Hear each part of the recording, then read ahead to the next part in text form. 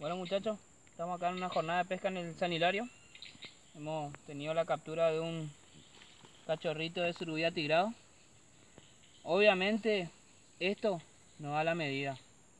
Esto se devuelve. Vamos a ver si es que entre todos podemos hacer un poquito eh, de, de conciencia para toda esa gente que llevan esta de, eh, de esta medida tenemos que pensar de que esto algún día va a crecer y que nuestros hijos, nuestros nietos lo van a poder disfrutar.